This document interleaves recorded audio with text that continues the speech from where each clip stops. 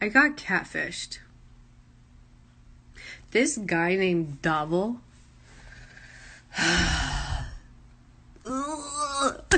he started talking to me um, on social media. Actually, met him in a dating app first, which now I for sure don't want to use them. Um, started saying all these nice things to me. And listen, he was beautiful. He looked like a chiseled Greek god. All right? Beautiful man.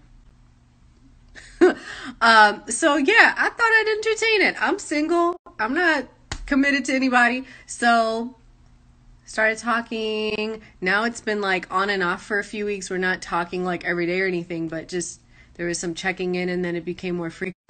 But now it's been a few weeks and I would ask like, "Hey, do you want to meet up? Do you want to go for a walk? Do you want to do something?" They would just stop talking and I was like, "He's not real.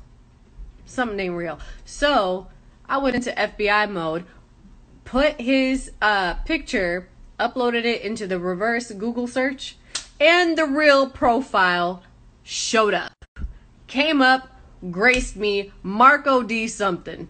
That was the real guy. And I was like, you know, this man is too cute to have like 70 followers. There's no way. So I screenshot it and sent it to the real person. I was like, hey, there's somebody pretending to be you. At this point, I'm like really determined to find who I've been talking to for like three weeks on and off. Like, who is this person? Who are you? What?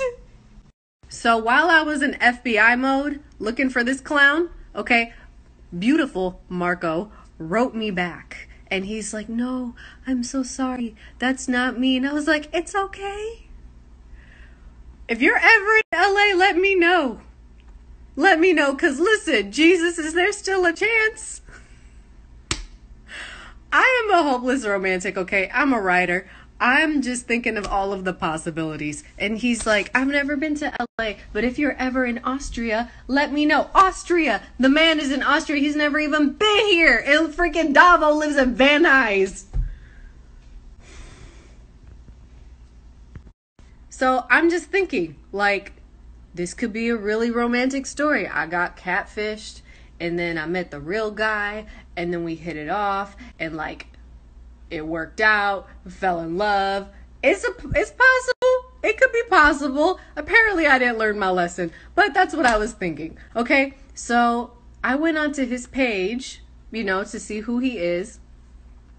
And girl, I realized he's already a husband to another man. I had no chances, okay? None. Zero. Zero chances for me. You know, Davo, let me catch you walking on my block, okay? Let me catch you walking outside. I will drop kick you in the throat. I'm serious. I will kick that lying spirit out of you. Who does this? Like, you don't have a life? You don't have a job? Go get another job. If one's not enough, who does this? You guys, this is what he actually looks like. Let me show you. This is him.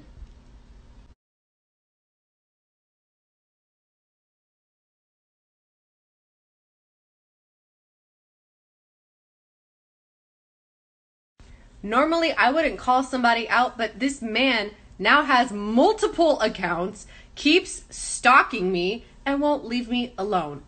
I I can't. And you know what? Through through all of this, the good that came out of this is this story is pretty funny and I made a new friend. A very very amazing new friend. Can you hear me? Yeah. Hi. Yeah. How are you? Okay. Good. How are you? Nice to meet the real person. Yeah, finally. so, uh, he was really sweet, but he's gay. But I made a new friend.